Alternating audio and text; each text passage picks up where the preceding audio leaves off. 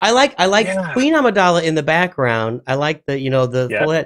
The one in front looks uh old. Like She, Not she looks a bit. not her. She looks like she's been doing twelve-hour shifts. yeah, to be the, honest with you. she looks a bit haggard. She's like, you know what? Ruling a country, it's it's not an easy job. Well, greetings and hello there, everybody. It's me, your beloved Nooch Father, all knowing, all loving, all seeing, all scribing, and all gerbling. Gentlemen, what's up? We're here with Scrybe and Gerbil today. Of course, Gerbil's always here, and the Scribble has joined us for a special event to talk about Queen Amidala, maybe some Datacrons, and then, of course, rank his movies. Gentlemen, how are we doing today?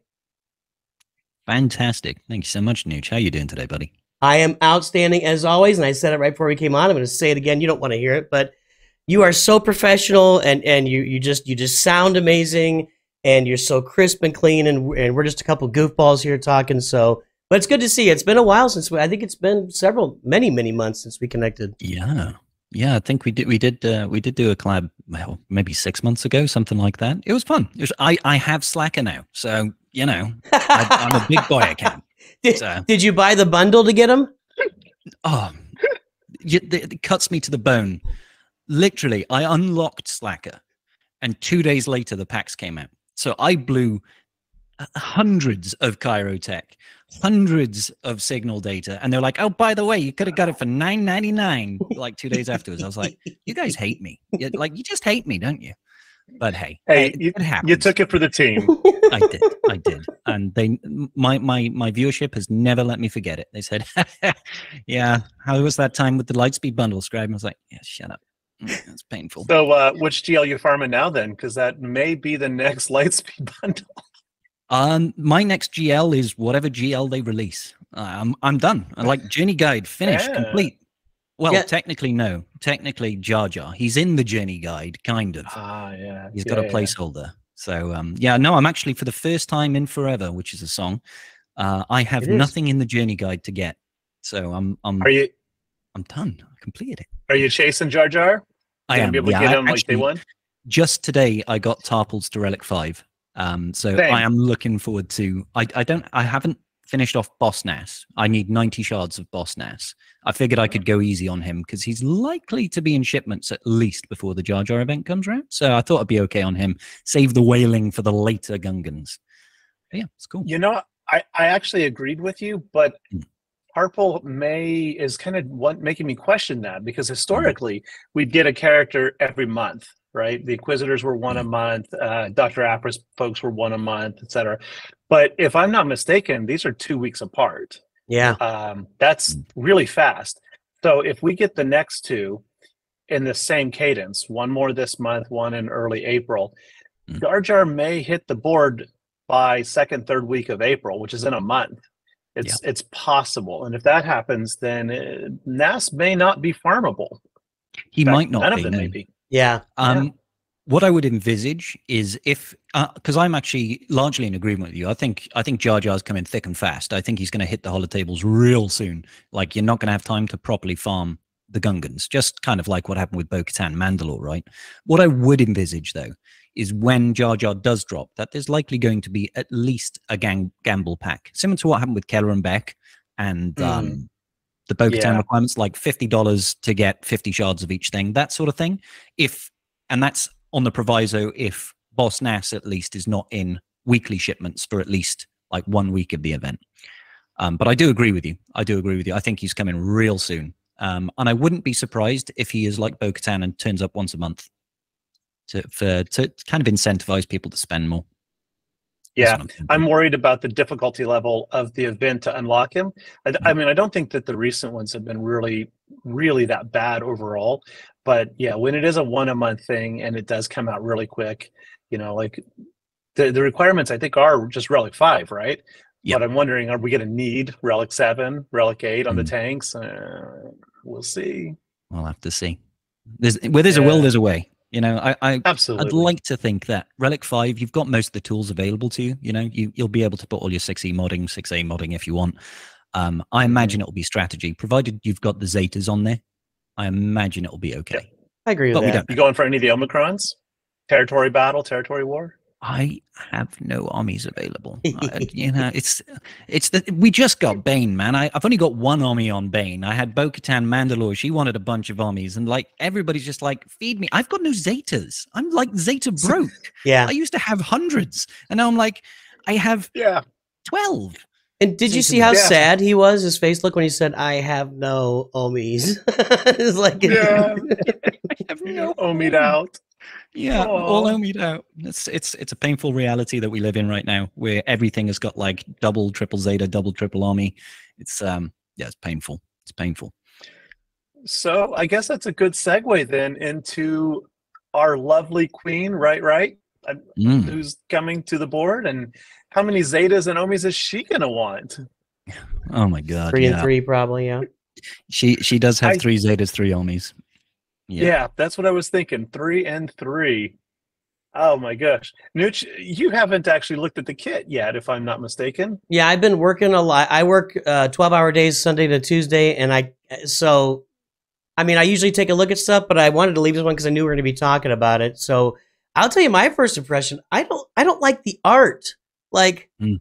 I like, I like Yeah. Queen Amidala in the background. I like the, you know, the Yeah.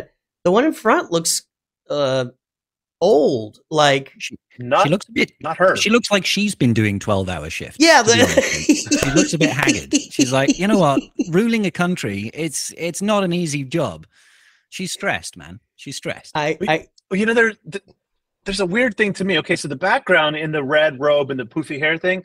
So her lips, li- her lips, her lips look really small because that red line, right, in the middle of it. But then the other one, where she's not wearing the makeup, her lips are like really, really wide, which creates this odd dynamic to me. It's it's Botox. It's Botox Amidala. That's what it is. That's what I couldn't figure out what it is, but that's what it is.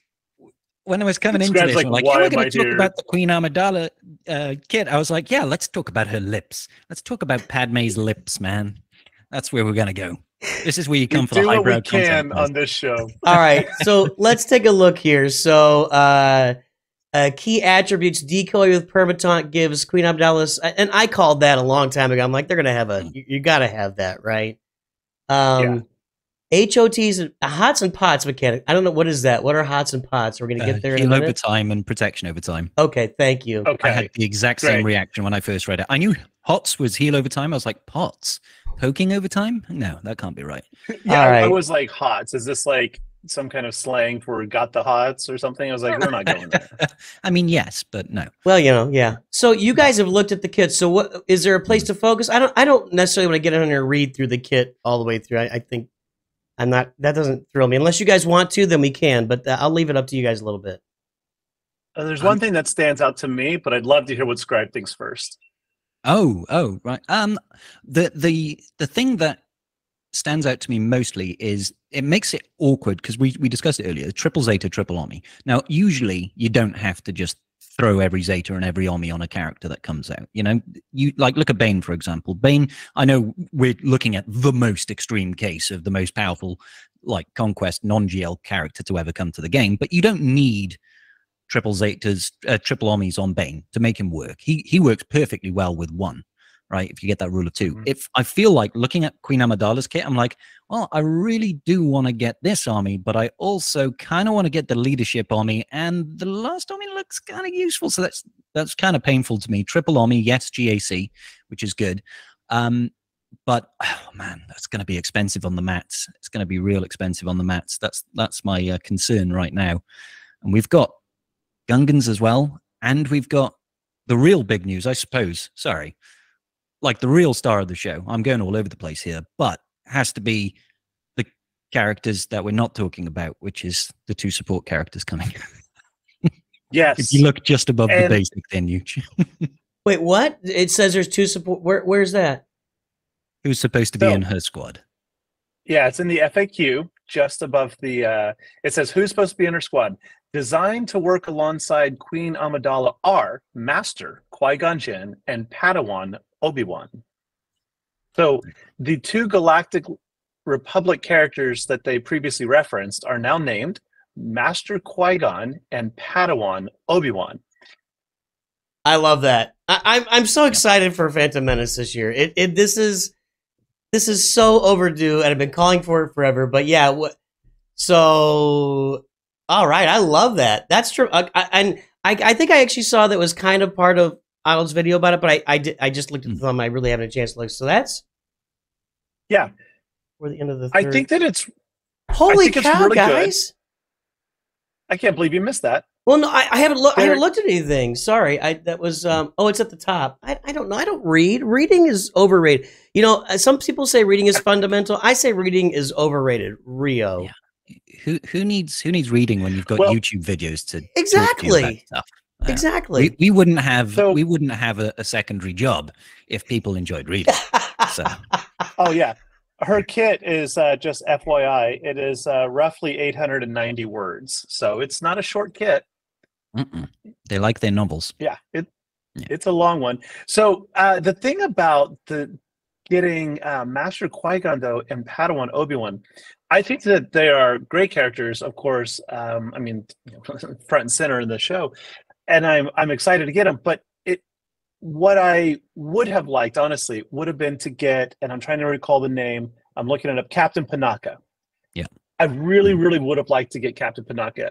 And the concern or the wonder I have perhaps is if she's going to be fighting along two Jedi, um, who else is going to fill out this team? Mm. Are, are there going to be more marquees down the road? Is it going to, you know, really going to be a team of three with the permataunting uh, handmaid? Or do we need to pull two more Jedi out of reserve? Mm. Or I think it's going to be Galactic Republic characters rather than Jedi. I think the only reason we're using Master Qui Gon Jinn and, and Padawan Obi is because of the film more than anything. You know, they were with her for a lot of it, and I think yes, I agree with you. I expected Captain Panaka because it makes sense. You know, her personal bodyguard, Yeah. right? So that makes sense thematically. However, from a monetary perspective, I think CG and Disney looked at it and say, who are people going to spend money on? Are they going to spend money on Captain Panaka, who gets Yeah. replaced, or are they going to spend money That's true. on Ewan McGregor? Hundred percent. Hundred percent. And so, yeah, you know, like- absolutely. So here's my question. if- if oh, we go are- ahead, you yeah. go. Oh, I was gonna say, so if we do pull two Galactic Republics, and you're right, the, the Galactic Republic is, is just all through her kit, GR this, GR that. So I'm looking at all the Galactic Republics over on Swaga, and of course we got a bunch of clone troopers, and thematically that doesn't make any sense because there were there were no clone troopers yet, not publicly at least. Hmm. Um, and that pretty much leaves like Clone Wars Chewie, uh, Mhm. Cup, and Jedi. Um, Mhm. Bad Batch thematically wouldn't make sense. So th- that's why I was leaning towards Jedi. And I think that there are some clues in the datacrons actually um, that that uh, when we we can circle around to this later, but a bit of a datacron spoiler. Um, if you haven't seen those, ladies and gentlemen, there is a datacron level nine for Kit Fisto, Ki-Adi-Mundi. Um, there's another one in there too. I'm trying to find him. No, maybe not. There's two for Dooku, unless that's a typo. Um, but two Really? level nines for Dooku. Yeah, mm, but yeah, okay. I guess it is oh, just yeah. those. There's Mace Windu also, and Kelleran Beck. So Mhm. we've got Beck, Mundi, Kit Fisto, and uh, oh, and Jedi and Cal.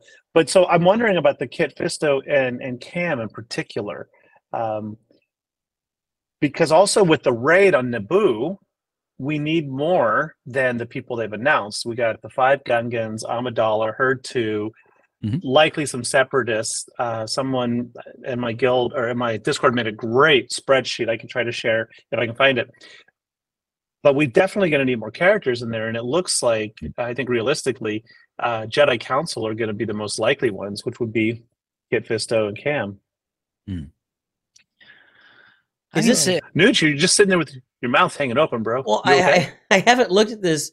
It looks like it's a. I mean, Jedi Resistance and Separatist. That Resistance makes so much sense in there.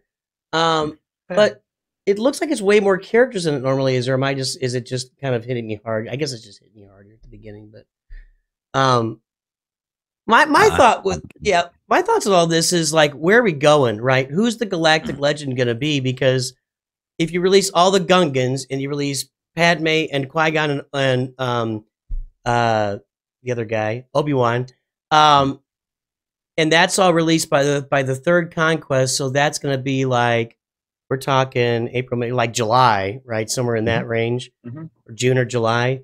Um, well, June, July is when we start to see the characters kind of be coming out for the next Galactic Legend. So, are we looking at that Palpatine? Are we looking at? Um, I've, I've, I'm kind of honking for um, um, Darth Tyrannus. I, I, I'd prefer to see that. To we've already got Palpatine. Um, I'd rather see Darth Tyrannus and like put him out there in Clone Wars form in the game. I think that'd be awesome. But I mean, where's it all leading us? I guess because I don't still don't, I don't think they're gonna put a conquest characters requirement for a GL. I don't think they'll have Padme as a GL requirement No. that quickly behind it. I've actually discussed this a little bit on my stream, but nothing without diving into like into the nuts and bolts of things. But I've come to a similar sort of conclusion. Like H1 in Galaxy of Heroes is just jam packed. It's like full to the brim. We've got Gungans with Jar Jar. We've had Stap. We've got Queen Amidala. We've got two marquees, and then we're bushing into the new raid. There's no way we're getting a GL straight away. I think once the raid drops, that the Phantom Menace content is actually done. I think they move on, and I think we go on to whatever's coming next. So I don't even think that a GL is going to relate to the Phantom Menace because I'm thinking about it. Who are they going to do? Like they could do Chancellor Palpatine, but then it'll be two two two Palpatine GLs. How is it going to work exactly? Who's it going to go with?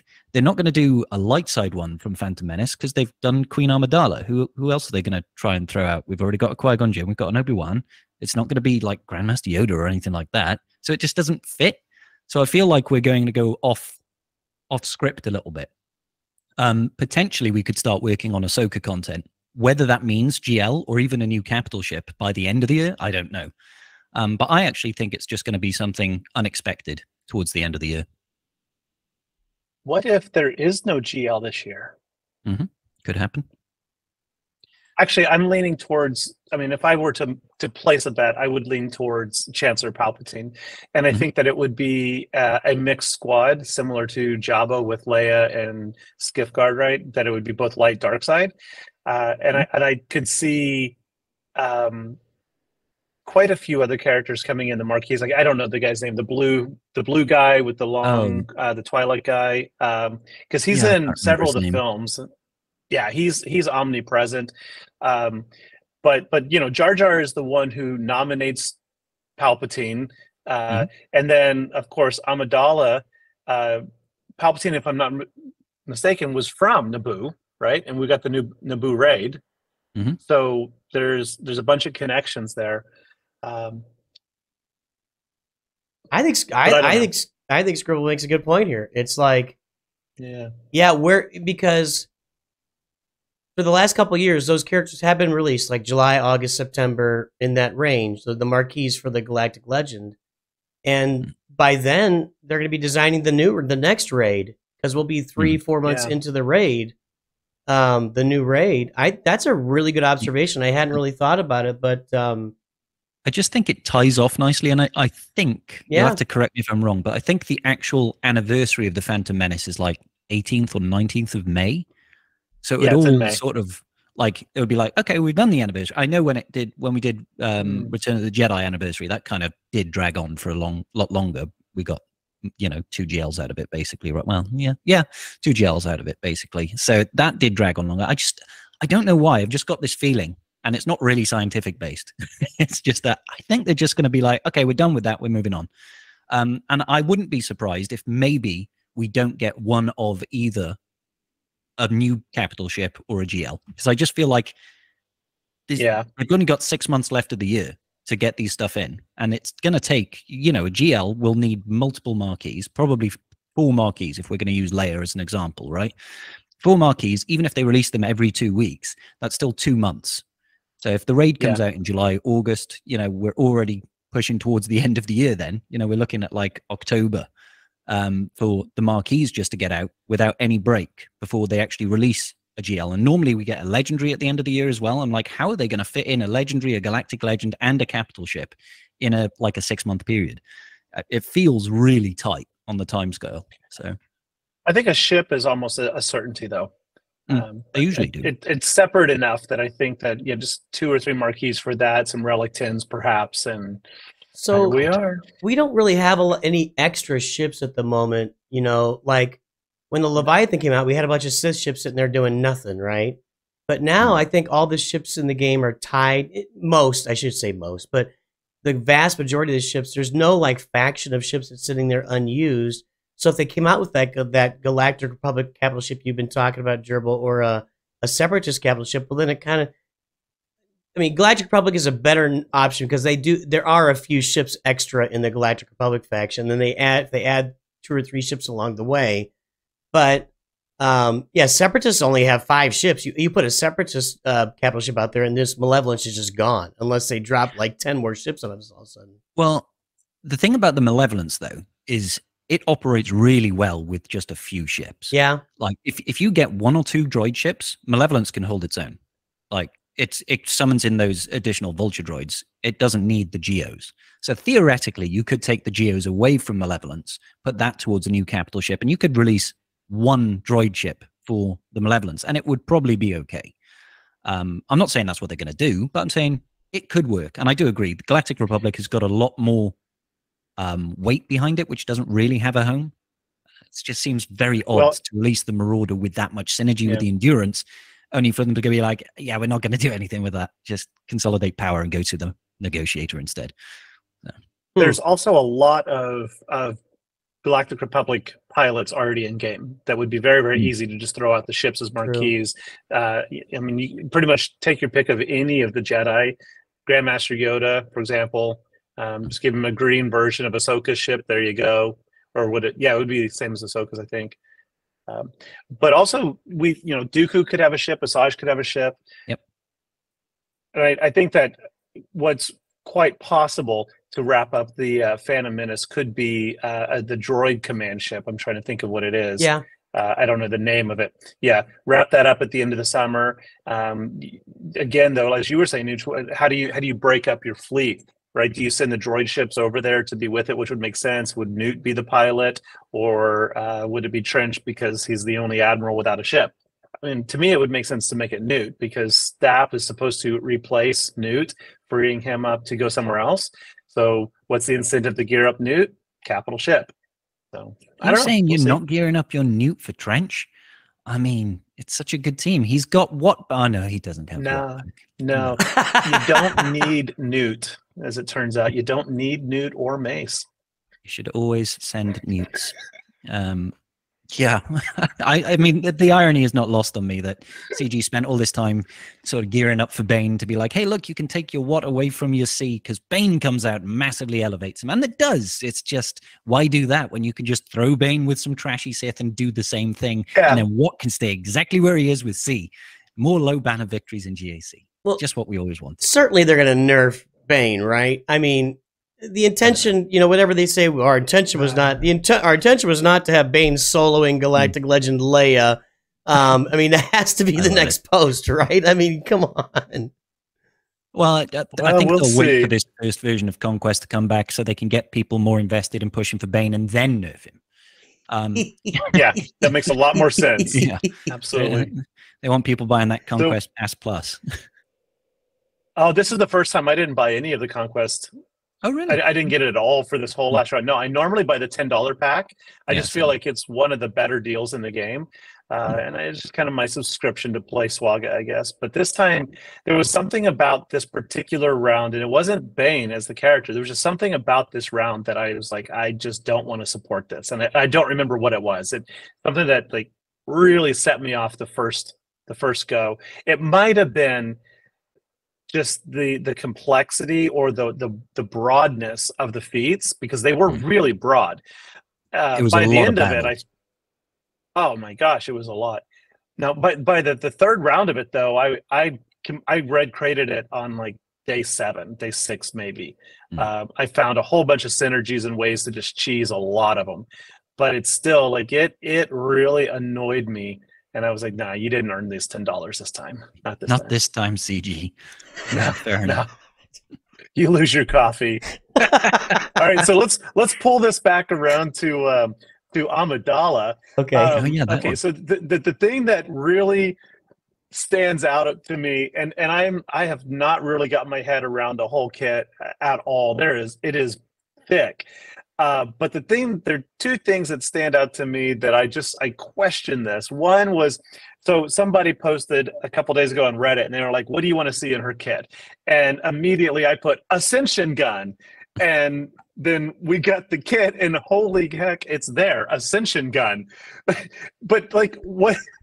So what does Ascension Gun do? Okay, so if you haven't seen the animation, she shoots straight up and flies off screen like Superman. Eh, or Wonder Woman, Superwoman. It's just like I'm out of here. And no, that is not an escape mechanic like C3PO or Wat or Yoda. It's what it does is it it calls everybody else to assist. Well, And, and it's a decoy. and it summons a handmaiden. So she she flies up, and the decoy comes in, and then she pops back in. And now, which one is which? Is it the old haggard looking Padme that's the real one, or is it the is it the queen with the with the lips? Which one is Padme? Well, Exactly. I'm not sure where the loop of the video starts and ends. Does the does the handmaid appear after she goes away? No, they're After, both on the think. table. at This Oh, yeah. So uh, yeah, I don't I'm a know. little confused. The Yeah, in my this is a chicken and the egg situation here. Right. The hand, they're both there. The handmaiden just disappears, and then she's like, "Look at me! I'm gonna fly away." Fix your graphics, Capital Games. Come on. Shoddy behavior. So behavior. that that really confuses me. The second thing is that so okay, so the handmaiden has permataunt until she's defeated. Mhm. When she's defeated, shenanigans happen. The enemy who defeated her gets doubt, I guess, and then Padme summons a new handmaid. The, the problem I have with this is it's literally Amidala saying, "Hey, um, I need someone else to die. Hey, you come here, come here, come here. Stand here, please. Can y'all Put shoot her?" on. exactly and it's just like it's like oh oh strike we need another we need another handmaid and somebody bring me someone else It's Well, just- that's how it went. I mean, you know, what do you want? The the, the they killed half of them off in the in the first couple movies. What you know, right? i only remember one Well, I know I was really one made me- died. oh, okay Mm. I, I wouldn't sign up for the job. Not that I think I could pull off the Padme look, but if if the job were was your job is to die for the Queen, I'd be like, well, I mean, can I do some admin work instead? I could be at the back guy, the background. Maybe I can arrange your meet and greets, something like that. maybe some Yeah, it's- accounting or something Yeah, yeah. Let me let me balance the books. Okay, I can do that. That's fine. i have to say this is the most informative episode i think i've ever been on with you guys Well, you also got to think if you sign up to be a handmaiden, it really helps your Hollywood career because you know Keira Knightley and uh, Yep. uh, what's the oth- what's the other one? Um, Natalie Portman. no, no, no, no. Uh, what Oh, are the, other hand? What? Did you say the other the other handmaid? Apart, uh, hand, uh, I can't remember. Yeah, her there's another name, but that's right. handmaiden that um, and she's been in a, a bunch of those uh, like Judd Apatow comedies, and I can't remember her name. Oh. Um, but you guys talk. I'm gonna look it up here. Hang on a second. So I, I'm skimming her kit, and there are Mm-hmm. multiple exclusions that if all allies are Galactic Republic and there are no scoundrels, who, are Yeah. they calling out with the scoundrel? I mean, come on, that's an easy one, Newt. Who's the most powerful Galactic Republic scoundrel? Also a conquest character, one of the very first. Oh, Cat, right? Cat. No, Yeah, they don't want Cat Yeah, because Cat's a scoundrel. Yeah. I always forget she's a scoundrel. Yeah, Huh. yeah. They don't want they don't want Cat to be messing around with Padme Amidala. Fifty percent additional offense and health. Yeah, probably not a good idea. Although she needs doesn't she need an aligned force Hmm. user in the team as well to make that happen? I can't think so. Um, oh no, it could be Jedi as well. Actually, light side Jedi, an aligned force user. So maybe the um, Yeah. um, Master Qui Gon and, and Obi Wan would fulfill be- that. Um, so yeah, they just don't want Cat being used there. Not that anybody would, because realistically, who's going to take Cat away from JMK and just have a terrible GL? It- Uh, like, nobody. exactly. Except that ain't people that don't have JMK, I guess. But um, yeah, yeah, it's it's Yeah. just to stop the Cat being used, I think, or stop people being tempted to use Cat. Um, I don't know. I, it, like for me, I just look at the kit and I'm like, it's got a lot of bulk. There is a lot of Yes. survivability, a lot of thickness to that team, a lot of recovery. A lot of recovery. Um, so maybe we're You actually going to have a defensively viable team. Who knows? Because at the moment, nothing holds really on defense in in TW and GAC. We've just got so much powerhouses out on the in the game right now that you just tear through everything. So maybe they're trying to Yeah. course correct a little bit here. Um, because Gungans are yeah, that's kind of my. I have that same experience right now in GAC that, you know, everything that every match I go in, I should win, and if I don't, usually it's I'm not paying attention and I'm misplaying or just Hmm. using the wrong team. You're right because like it doesn't matter if you're putting any more on defense, Relic Nine, Malgus, or what. There's Hmm. so many ways to defeat them. Yeah, Yeah, exactly. Everybody's like GLs don't hold. We live in an era at the Uh-huh. moment where GLs have just got non-GL counters. You know, like you know the thing that get me the my most holds i get the most holds still with my my all relic 90 walks because people perpetually underestimate that or iden who i geared up to all relic 8 for Mm. the raid so the whole relic 8 iden team people look at it they're like iden okay and they'll throw their relic 8 9 wampa at it and just get decimated because at that higher level iden does holds a lot up of damage. Yeah, and if Yeah, you've got scouts yeah, in there as well, you do have an irresistible daze, and that will shut Right. down a lot of Wampa's So- activities. so my point is like I'm getting hold, as you're saying, not from the shinies and the Mm. newest and the latest grades. I'm getting hold from older stuff that people are forgetting about or underestimating. Yeah, it's usually how it goes these days. I mean, so, some GLs still hold, but it's not reliable. There's no there's no surefire way No. of, of getting a hold right now. So maybe, like I said, maybe the, all this bulk is to try and either time out or or um, actually have something that has some level of defensive viability because it usually gets figured out within within a week of GAC being active. There's been just like hundreds of people have gone in and battled this team. This is all the collective evidence that we've got. This is how you beat this team. Jobs are good and move on. Get your 65 banners. Have a good time. Um, Yeah. Although Right. with the upcoming Datacron set, uh, there there is some pause in there. Um, talk about power creep and mm, some unexpected synergies that well maybe not unexpected just unexpected things that uh, you know like talking about holding like have you guys had a chance to look at these I haven't seen it at all. I'm d- looking All here right. with you is the first time I even So- knew that it existed. So yeah so um all right so uh, on your level one two was it two four five seven eights you know you've got random stats right there is there is not likely but there is a possibility of getting 120% bonus health or protection huge. My Uh, yeah, gonna so be that's happy. can yeah, that's gonna shut down a lot of counters, especially like CLS is where you're just normally just gonna like pound through something. Yeah, if they're if they're cranking out 120% extra health or 80%, you may not shoot through them as quickly, and there goes that that counter. So that's something to watch out for. But um, yeah, there's some there's some stuff in here that's like like uh and, some of them are quite bulky. Like um, Kit Fisto does not look like one of the better ones, but it's really long. Like Kit Fisto has 100% health steal at the start of battle. Grant guard to all other Galactic Republic Jedi until Kit Fisto defeated. Kit Fisto and all allies with guard have 100% accuracy. They have their their health and protection equalized at the start of each ally's turn. Kit Fisto attacks out of turn. Whenever he attacks out of turn, recovers 20% health and protection and lowers the cooldown of turn of tide by one. Whenever Fisto, see, it's still going. Whenever he uses a special ability, all Galactic Republic Jedi gain retribution for two turns. Whenever he uses a basic, the spell all buffs on the target. So you pair that, like that equalization every turn, with all that bonus health or protection.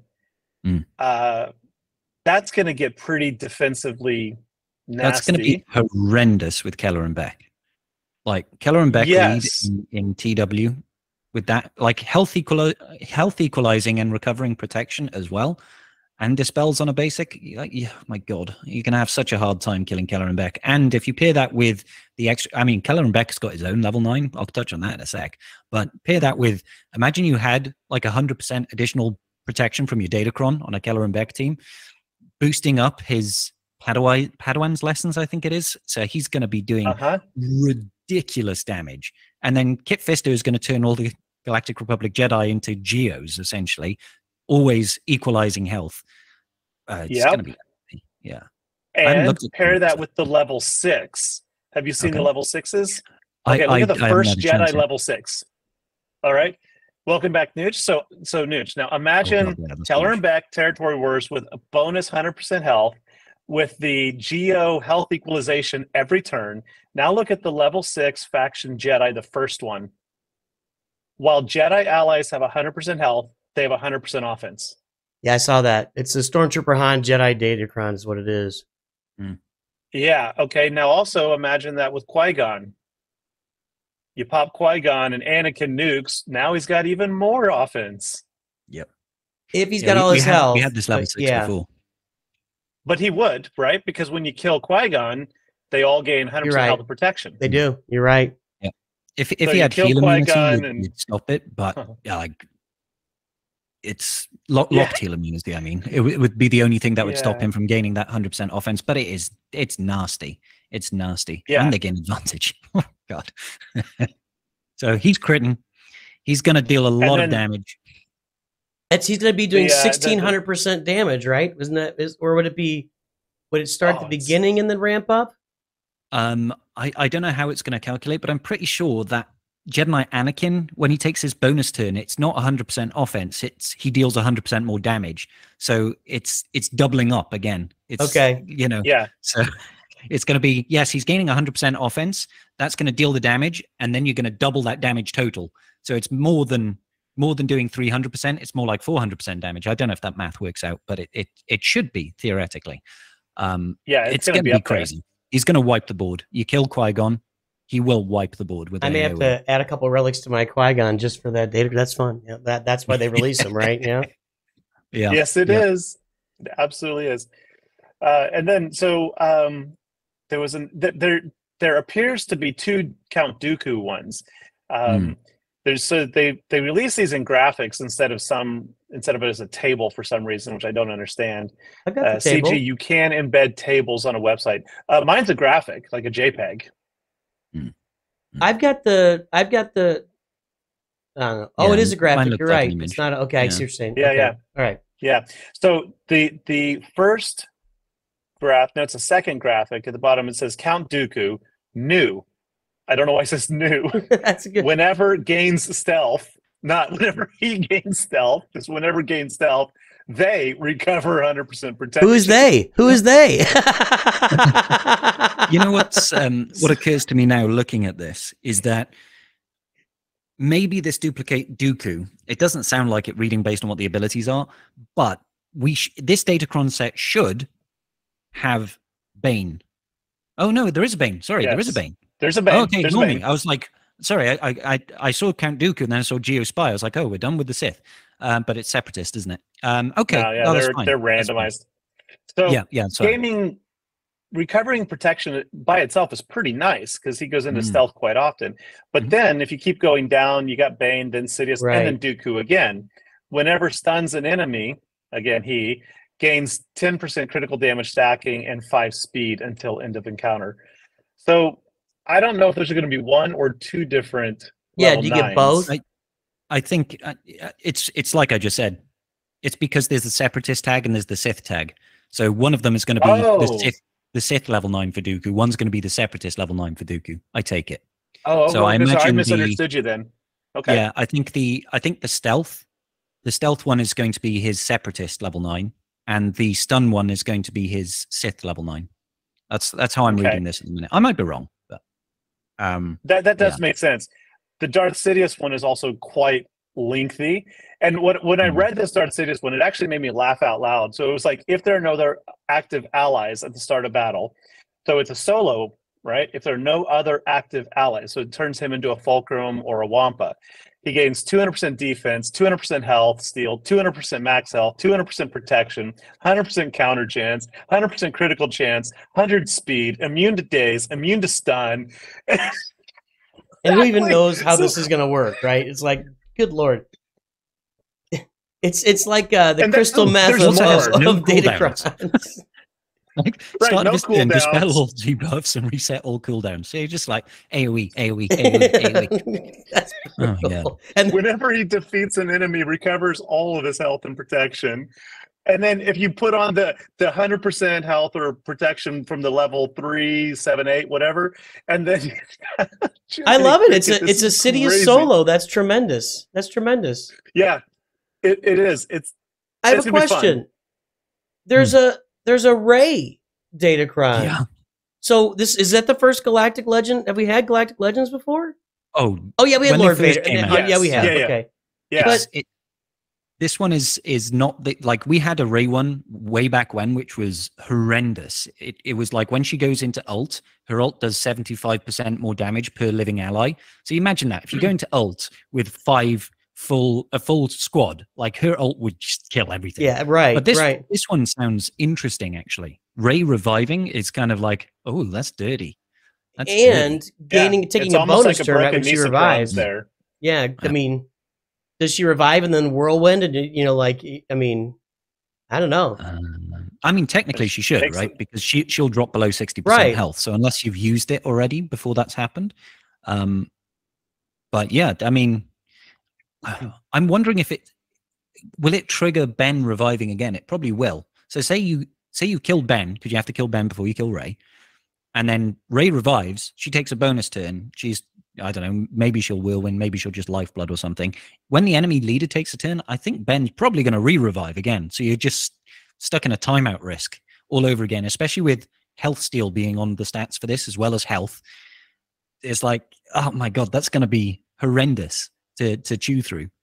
Um, it's interesting. I wonder how the community is going to react to GL Datacrons Uh, again. Uh, and stack that with the level six, whenever a, a resistance ally is critically hit, they gain 100% critical avoidance and 100% critical chance for Oh, two Lord. turns. Because it's for two turns, you're basically never going to critically hit them again.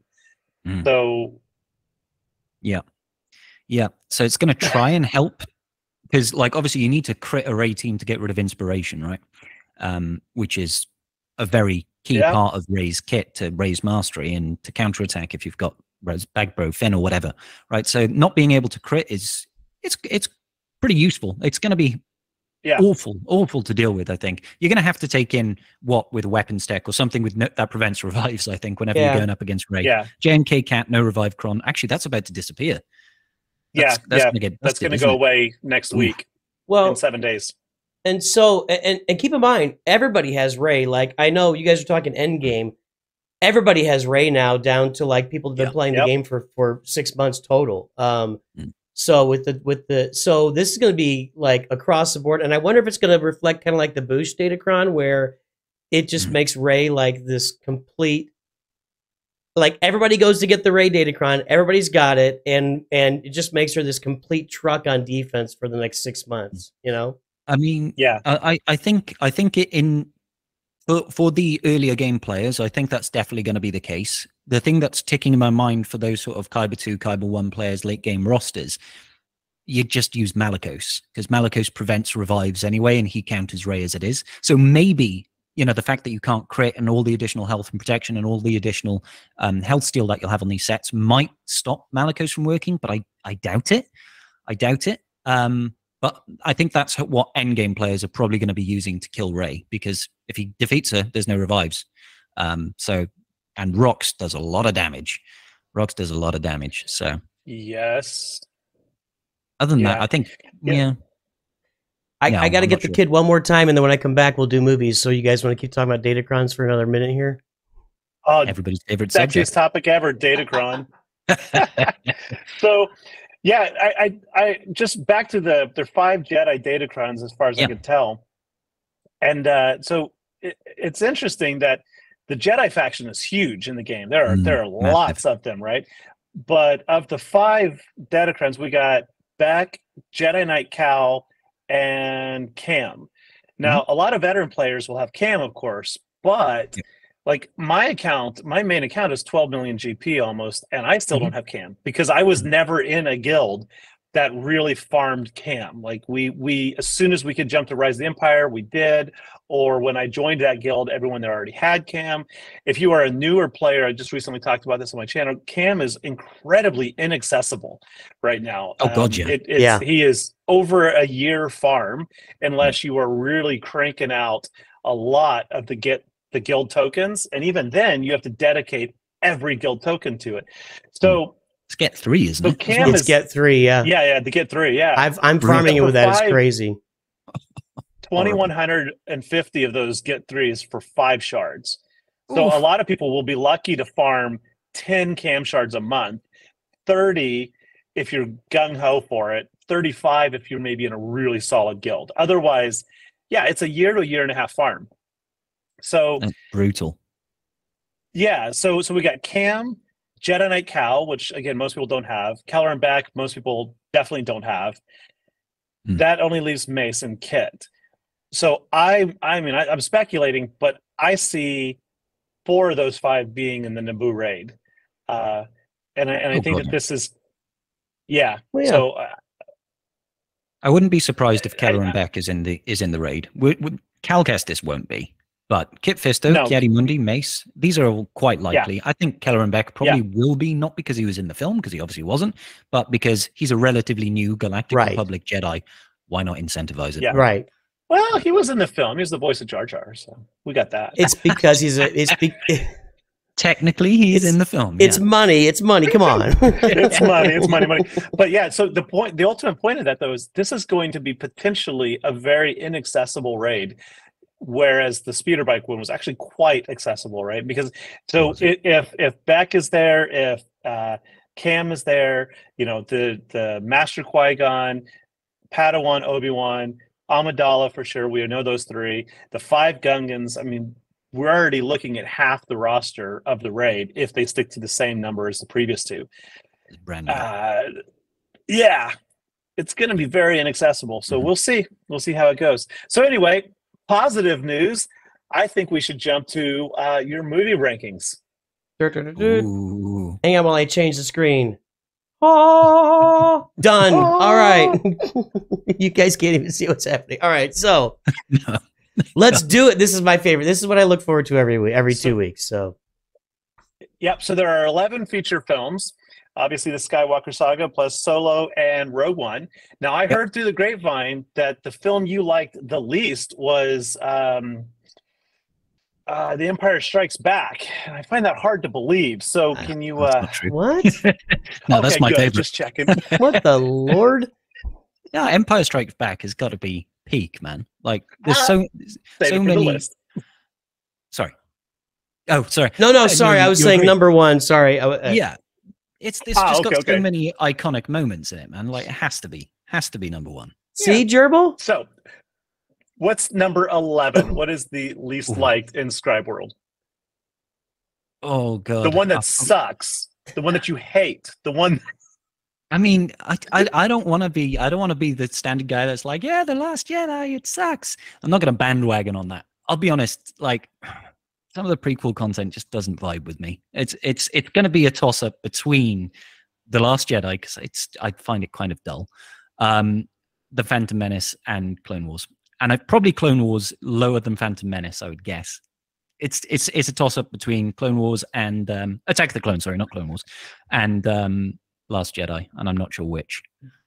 I'm not sure which. I do the same thing with Attack of the Clones and Clone Wars, but yeah. So, So Yeah. easy to make that mistake. Well, let's let's talk about both of those. So let's talk about why Attack of the Clones. We'll we'll just say they're ten and eleven, whatever order. So why Attack of the Clones? Uh, Attack the Clones, like I think we all know that the dialogue is very cringy for for a lot of it. It's hard hard to get through, and the other side of it is is it doesn't have Duel of the Fates in it. So I mean, it doesn't have that redeeming massive lightsaber battle. Instead, we Yeah, do get yeah. a battle at the end with Dooku and Anakin and Kenobi, and then GMY comes in. But it, it doesn't like the stakes don't feel anywhere near as high. I feel like the pacing is completely off. It's just kind of like Yeah. yeah, sort of thing. And the Panak, um, is it Panaka Arena? I think that's how, how it's pronounced. Oh, I don't know. How, I don't know what it's called. And Um, Geonosis, I don't know. I just Geonosis um, Arena is what I would call it. I Yeah. always said the bug arena. There you go. the bug arena that's probably like the most entertaining part as far as action is concerned because you get to see like a whole bunch of jedi and then django fett just kind of fizzles out without much of a fight literally loses his head in the middle of battle um i, I don't know it's Yeah. just between the dialogue and and the fa- the fact that it just feels kind of flat throughout a lot of it. That's probably why. All right. Probably why for me. And then that's, so that's all fair points. yeah, so why Last Jedi then? Uh, Last Jedi, I actually like quite a bit of Last. Je- Just because I'm ranking these low doesn't mean I don't enjoy the films. I do actually enjoy all the films. Um, the Last Jedi I rank quite low because cohesively it feels like somebody's just you know you know like you start a story and then somebody wants to say oh what about if this happens you're like no don't ruin my story. That's it. That's what it feels like has happened. It's it almost feels deliberate to the point that it's trying to undo things from the Force Awakens. And The Force Awakens, in my opinion, is actually a very enjoyable film if you take it for what it is, which is just like an homage to A New Hope. That's what it feels like. I went to the Mm, cinema. I really enjoyed The Force Awakens. I thought, hey, it's great. It's basically A New Hope again, but it's still enjoyable, an enjoyable experience. The Last Jedi felt like all the stuff that you build up in the first film just kind of gets thrown out the window, and you're like, oh, why do I care? And then they killed the only good villain, and it's like, oh, I'm just not excited now. It does have some really nice cinematic moments, like Crait, the planet Crait, really cool. Like the salt fields, you know, um, the the um, the throne room fight scene, even though it like choreography wise, it's got some silly mistakes, is really visually cool. Oh, it's Um, good. It's enjoyable. Yeah, it just has its moments of a bit like uh, I feel like it's it's it's too at odds with what's happened in the past, and it kind of disappoints me with some of the choices. Like I don't think they should have killed Snoke at all. Personally, Agreed. You know, I think he would have made a better villain long term. Plus, you just like you got Andy Serkis, voice acting and character, and you're just throwing him away. It's like, Yeah. no, Yeah, yeah. I mean, in in, in episode uh, was it seven when we see you know Kylo Ren bow down in that giant hologram of Snoke Mm. there. It, it just it just like Oh, who is imposing, this right? new emperor? What right? Like it, it Mm. really. I, I was so excited to see where this goes. Mm. And then he just gets cut in half, and I was like, "Wow, that was anticlimactic." And then you know there was that that moment where was that it was Hux right who was going to go kill Kylo, and then Kylo got up. Now I I liked Hux's character and I liked his sliminess and I just I would just like really really wanted to see more out of Hux. And Mm. in the end he just Well, shoots himself in the leg and or whatever. Hawk started the first movie as like a Tarkin-esque figure, right? And and then to open Last Jedi, he's a cartoon character. You know, um, Poe is just trolling him in front of the entire First Order fleet, and he gets tossed around the bridge by Snoke. It's like it was just like a complete. Anyway, yeah, yeah, that was. Uh, I- yeah, Hon- honestly, I, I think they eviscerated Hux's character. yeah, I agree. Like the first one, he was good. He was intimidating. He was. Uh, he seemed like people respected him. And then Last Jedi kind of chipped away at that. And then Rise of Skywalker, they were just like, you know what? You're a meme. That's your entire Yeah. purpose. You were just petty. Yes. You like it's just like why'd you have to do that? He's a good character. Like I mean, he was originally, and they kind of ruined him. Yeah. Um, yeah. Big sad. All right. So for 11 and 10 and 9, Mhm. we have in whatever order uh The Last Jedi, Mm. Attack of the Clones and Phantom Menace. Yeah, yeah. I mean, Phantom Menace does have a lot of it. It, it introduces a bunch of cool characters, right? And it also introduces Jar Jar. Take of that what you will. Um, and Ascension Guns. and Ascension guns. Boomer's like- fired. Yeah. The, the thing about Phantom Menace is it does introduce a lot of characters that I do really, really like. Like Ewan McGregor as Obi Wan Kenobi is probably my favorite Star Wars character across all platforms. He's just cool. All right. You know, like I'm Team Obi. Um, having Liam Neeson as Qui Gon Jinn, great performance. Really enjoyed it. The fact that he Yes. as you know he's the sacrifice guy he's the mentor that loses plays a really pivotal role in sort of the overarching story good Introduced maul who i'll be honest maul in the phantom menace he, he's just eye candy he's not a character he doesn't have a plot he doesn't have character development he's this is a big bad who doesn't even talk well he says you know finally we will reveal ourselves to the jedi that that's his character development and then he kills qui-gon jinn so everything everybody's fanboying about Maul happened afterwards. That's true. Mhm. In the Phantom Menace, Yeah. he's just there for a really cool fight scene and to look like a badass. And that's okay, but it doesn't really add much to the film outside of one of the best lightsaber duels that we've ever had. Um, so it's kind of like, eh, that with more cringy dialogue. Are you an angel? It's like, dear me, dear me. Well, at least we know they have angels in a galaxy far, far away, also, right? And and The- sand. the- what- yeah. There were a couple things that I left the theater though, just kind of revolted over. What was like uh, that that Amidala's ship was uh, an SR seventy one Blackbird with chrome. I just could not get over that. Never it is the same. It is just a Blackbird. Uh, and then the other one was well, the Ascension guns. I was I just can't get over that. Now they're in game. But then the, the other one was force speed. Like we're at a standoff, force speed, and they're offside exit stage left. And I was like, what was that? And then because they introduced it in the beginning of the film, I was like, why didn't they use it at the end when they're running between those force fields and you know pausing? Like they I think it's because they're still really tired from doing it once because we never saw it again. They're like, God, ever that full speed, man. Yeah, because why wouldn't you? out of breath. You'd be using that all the time. They'd be like, that'd be the main ability they have, actually. I'd be using it to go down the shops, you know, get some milk. Right. You know, halfway through cooking, like, oh, I don't have any peppers. Like, you, you don't have to pay for it if you take it that fast. Yeah. the old five finger discount. All right. So what's number? What comes in at number eight? Oh, see, we get the, the higher up we go, I think it starts to get a little bit tricky. Um, ooh, what does come in at number eight? I don't want to say mm, Rise of Skywalker, probably. I don't think I want to set that any higher than that. Like, I'm not somebody that despises the sequels. I actually quite enjoy the sequels, and I think actually Rise of Skywalker had some really cool moments. I think a lot of the hate for Rise of Skywalker comes from um, bandwagoning more than anything. It's just like, yeah, we hate Rise. Like a bunch of people that I spoke to right after they came out of the cinema watching Rise of Skywalker were like, that was awesome. That was really cool. I know people that saw it multiple times, and now, now they say, oh, it's, it's terrible. It sucks. It's like you weren't saying that when Yeah. you first watched it. Um, it just, it has some moments in it which are just kind of like, well, this is just a little bit dumb, really. Like the fact that they didn't even know who uh, Rey's lineage was. I don't like the fact that it's Palpatine. I would have preferred it to actually be something new, so we can actually break away from Yes. the Skywalker Yep. saga. Not everything has to be Skywalker based, right? There's, we can we can have new people that are powerful. That's okay. Be brave, Disney. You can do it. I believe in you. Um, so that bit is kind of like, yeah, I the whole back and forth thing, like I'm going to sacrifice myself for you, and then I'm going to revive you, and I'm like, no, you, like it's pick a lane, guys, pick a lane. Somebody's going to die.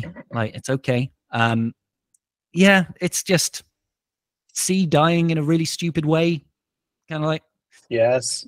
why don't why not just cut off the electricity, dude? That's okay too. You don't have to keep disintegrating yourself. You know, it's choices like that. Cinema, it's cinematically again. I think there are moments like Exegol looks freaking sick. You know, the the the actual um, CGI work that they put in is really good.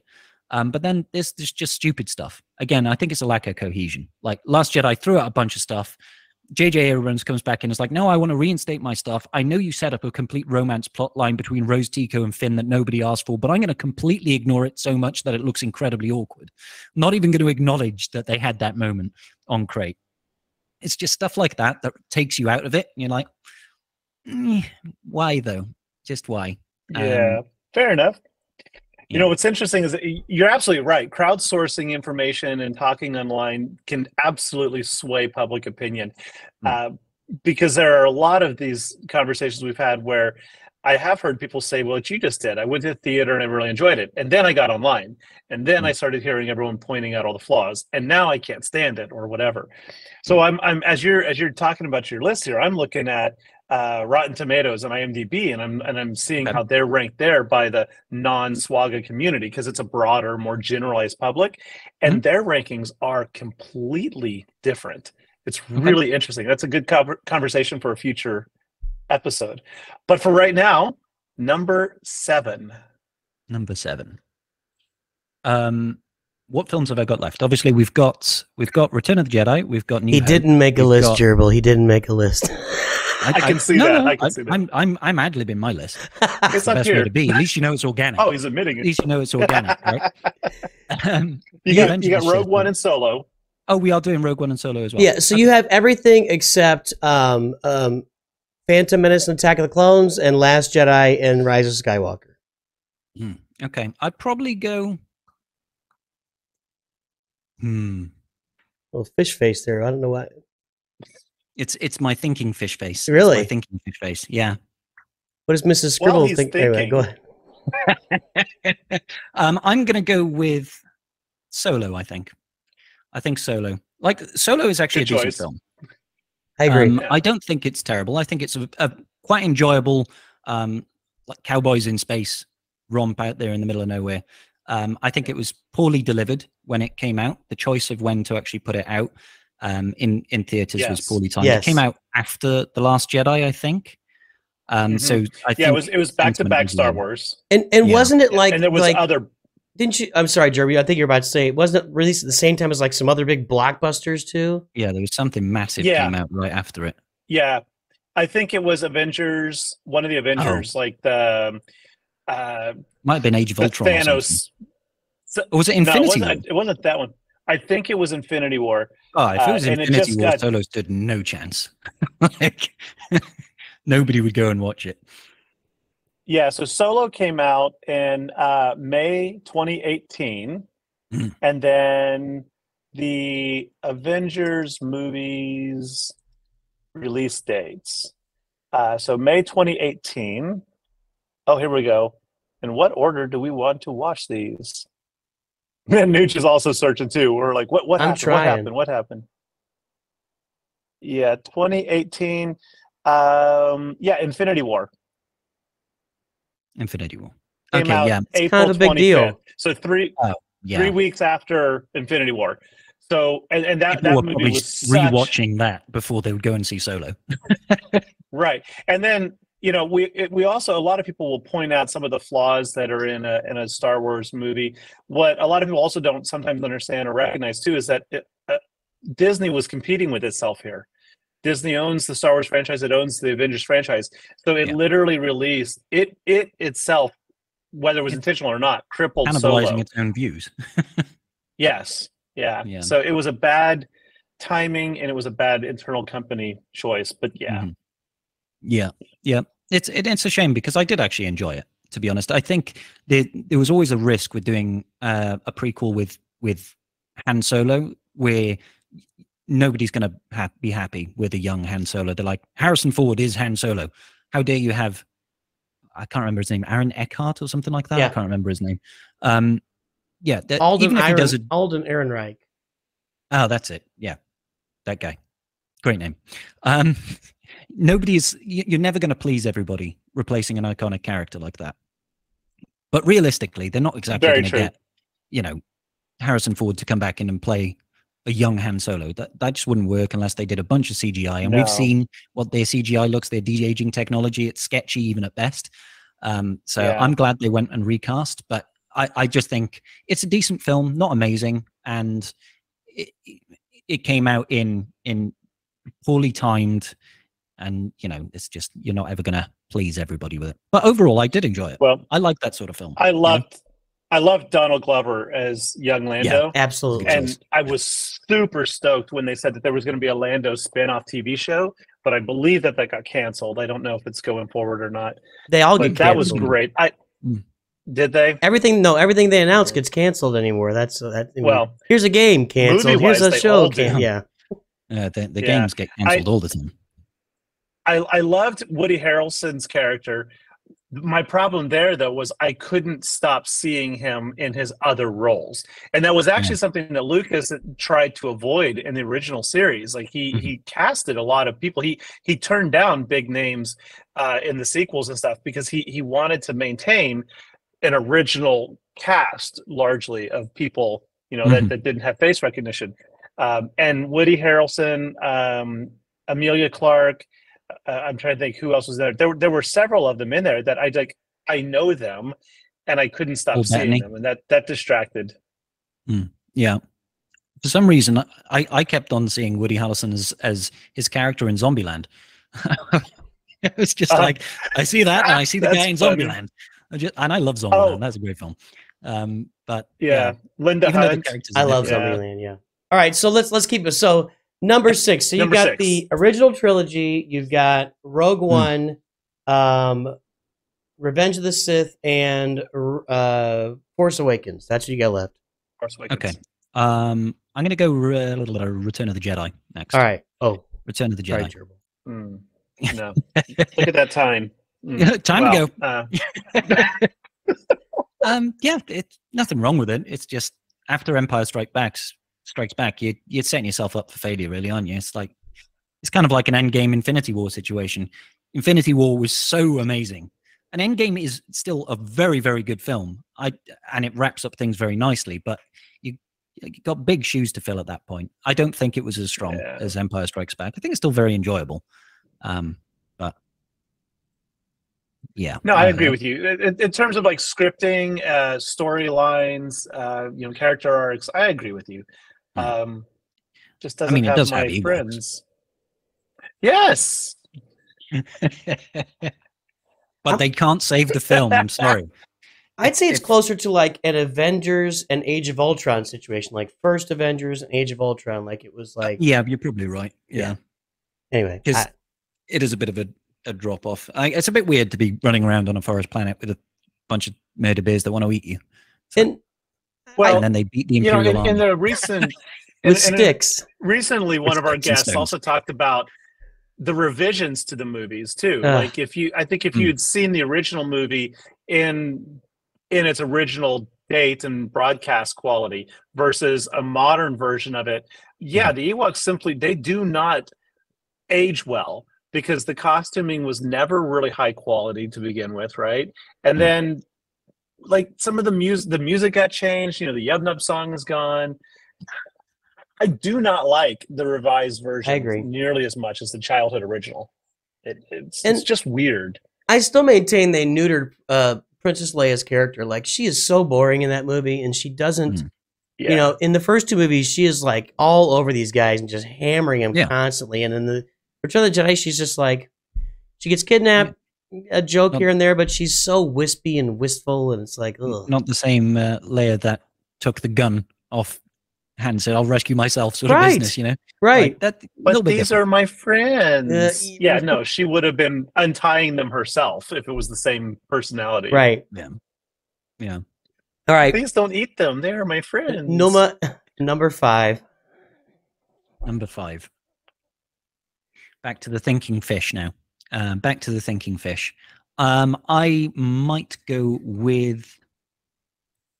It's tough. It's tough at the top. Take your It's tough at time. I'm reading Amidala's kit. It's okay. I So you got got you Oh got God, we've got hours then. you got Force Awakens. You've got Yep. Re- um, Empire, A New Hope, Rogue New Hope. One, and Well, Empire was one, right?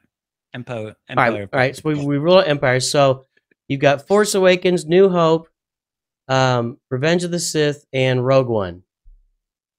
They're all good. That's the problem. They're all good. Mhm. Um, I want to go with.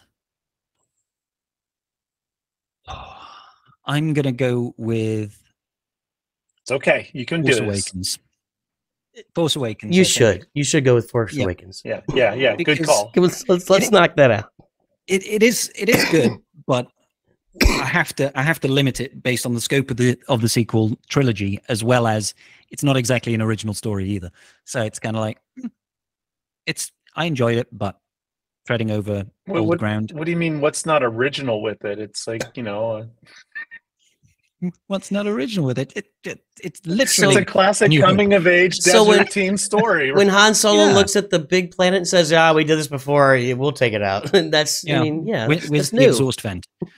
um, yeah, it's it's it's redone. I think, I I think in particular, some of the things that irk me is just the the sheer power level of of an untrained Rey is just a little bit silly.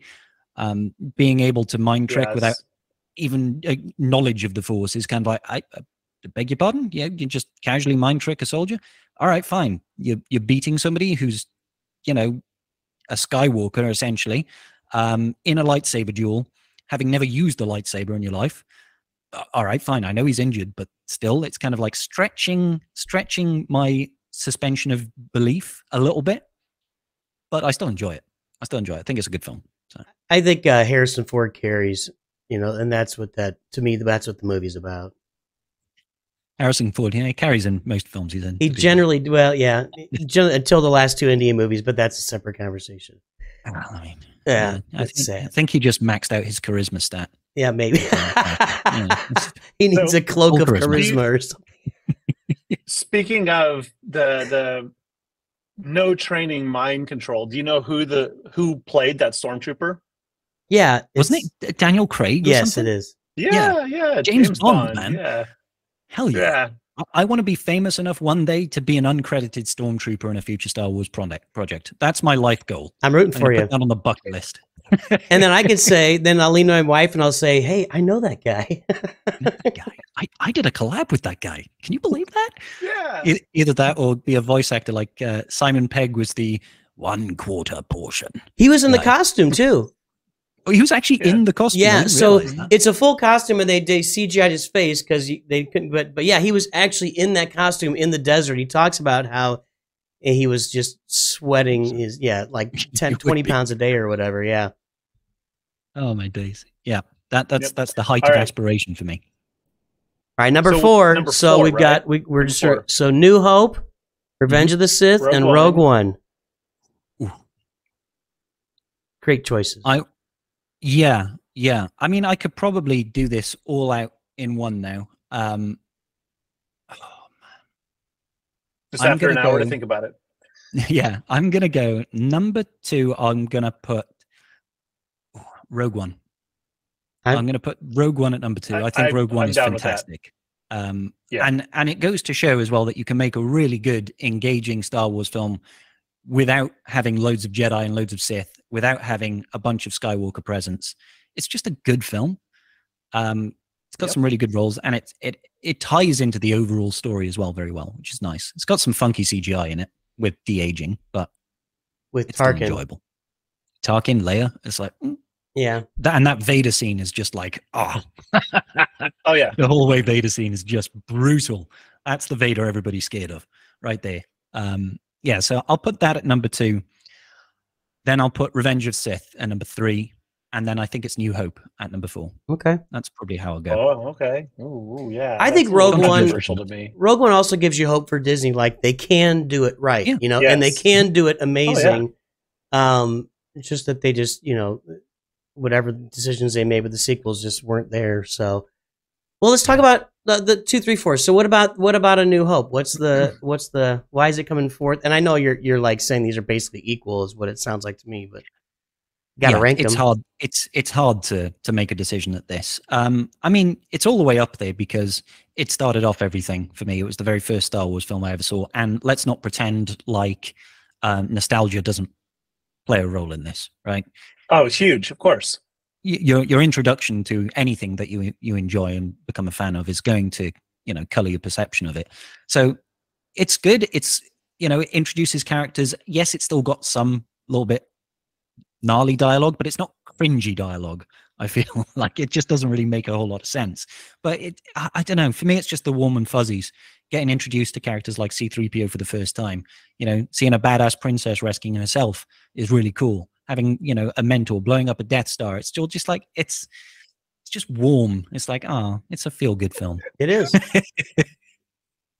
So I, I, Oh, geez. yeah. Have, ha- have you all seen the parody scene? You know, where uh, old Ben is explaining to Luke about his dad, right? Uh, but there's a parody on YouTube where old Ben has changed the entire story, and he's like, he's like, yes, your dad and I killed Boba Fett, and or no, no, no, it wasn't Boba Fett. It was um. Jango Fett. Oh, I lost it. Oh. Jango Fett was no, No, no, wasn't even Jango. I don't remember. I don't remember. I'll, I'll find the link and I'll post it in the Discord. It's hilarious though, because he's all he's all like, uh, Jango Fett used his contract money to hire another bounty hunter, who used their contract money to hire another bounty hunter, who used a Oh, contract think money I've to hire a droid that cut a hole in the window that could have killed Amidala, but instead used its contract money to hire a worm. Yeah, it's just I, I have seen that. It's like, yeah, Jango Django Fett was Ben originally going to kill Padme, but he hired someone else who hired someone else who hired someone else who hired a worm. Yeah, exactly. Yeah, that, that is good. I, I have seen that a while It's back. yeah. beautifully done. But I, I think I think A New Hope is harder though for uh, a lot of the younger viewers to get into because it, it Definitely. is a slower pace film for sure. Mhm. Yeah, yeah. Uh, And when you compare like fight choreography, Yeah. it's like y- it it's dated. It's not what you would expect from, you know, especially if you've watched something like the the prequels, where hmm I'm not saying I'm a massive fan of the style, but there's a, there's a lot of flash, right? There's a lot of flash, a lot of um, fancy blade work, as it were, in in the in the in the prequels. Sorry, that doesn't really get replicated in the sequels, and it certainly isn't in the original trilogy, which is more like fencing rather than Right. sword fighting. Um, so it's not Yeah, as it's not as flashy out there, you know. The original might be. series, the, the the lightsaber duels are much more realistically accurate if you had a moderately weighted sword. Yeah, it's true. No, it's Instead of a beam true. I, I- I hear. Oh, I- I didn't Yes. disagree. I'm hmm. laughing. I mean, I, I still can't look at that scene in the battle on Mustafar where Obi Wan and Anakin are just waving their swords in front of each other, not even touching each other, just stood there for about 30 seconds. And you're like, what are you doing? Like, hit him. They're waiting for an opening. They're trying to find an opening. They're in each other's minds. They've trained exact. All right. Well, so let's talk Revenge of the Sith. So that's third. So what's what's the deal there? Tell us about Revenge of the Sith. That's- That's just epic. Like, it's a, it's the conclusion. It's how we get Vader. You know, like as there's still cringy dialogue in it, but the stakes are so much higher. The orchestral pieces are so good. The fight on Mustafar is like ma- who who like when when you're watching like Clone Wars and and the um, and Phantom Menace, right? Who isn't looking at that thinking, "Wow, I wonder who'd win in a fight between Anakin and Obi Wan?" And you get to see it, and it's just like full throttle, and it goes on for minutes as well. It's such a cool scene, and it's nice. long I know, a- as as heartbreaking it is, it's it's cool to see Anakin fall, and I, I think it shocked a lot of people seeing him murder a bunch of kids. Like it's like It shocked moly. Big Dynasty. That's for sure. really? He was shocked. Yeah, he was like, Yeah, it he hates that movie because It- they destroyed his hero. Yeah, oh Yeah. yeah. I know it's true. Ah, whereas I'm like, yes, exactly. Destroy people's most of us heroes. let's see them fall. Join me in the darkness. Um, yeah, no, I think it's awesome. I think it was brave of them, brave of them to go that that far, you know. Um, and yeah, uh, it just it's satisfying seeing how the how it feeds into a new hope, how the story begins, sort of thing, and you can you get a feel for why everybody is scared and fearful of Vader. It's like, yeah, that's that's cool. That's cool. So yeah, answer some questions, and I think overall it's just a satisfying experience Great. and conclusion to the uh, the prequels after um, the first two were for me just a little bit flashy and flat. Yeah. Well, Well, we talked Rogue One. Amidala's kit has helped me understand the value of the Ascension gun now, though, because it helps you get the high ground, and that's it does. definitely a lesson true. Kenobi learned. That's true. does, yeah, yeah, Yeah, they coulda had- Obi-Wan all he knows. Yeah, they could have had uh, Padme like standing on a ledge above the re- everybody else, like you could just see her feet or something. Dangling from the rafters. Yeah, like oh, like they did in the bloopers. Yeah. Yeah, the, the ability could have been Kenobi, come take the high ground, and then Ascension. All right, uh, Scrybe. Let's talk about Empire Strikes Back because it's my number one too, and it always will be. So let's let's hear it. Oh man. Well, what's not to like about Empire Strikes Back? To be honest, Mm-hmm. like people had their appetite whetted, as it were, by uh, A New Hope. Then you get to go over to Hoth. Hoth is such an amazing landscape. You meet Wampa. You get hung upside down. You see Luke use the Force to pull his lightsaber out and save himself, cut off the hand of Wampa. You get iconic, you know, I am your father. You get to jump down a large elevator shaft. It's just like there's so many epic moments in that film that it's just I, I don't know how it gets beat by a modern modern day Star Wars film unless they do something brand new, you know. And even then, it, it's it's pretty tough to beat, you know. Han and Leia falling in love, which might be a little bit confusing for people that watched the first film. You're like, wait a minute, uh, okay, yeah, she's my sister. That's awkward. Um, getting frozen in carbonite. It's just I don't know. I, I- I don't even know where to begin. Being able to take out the um the AT-ATs with the uh with the, is it the A wings they use there? I can't remember the No, name snow of the speeders. they- Snow little speeders. Snow Oh. speeders. Yeah. well, whatever they are. Um, like it's just it's just cool and seeing Luke jump up inside one and stuff. It's like ah, I love it. I just love everything about it. it's good stuff. I think Cloud City always stuck in my head, just as a Oh, yeah. really, really cool backdrop.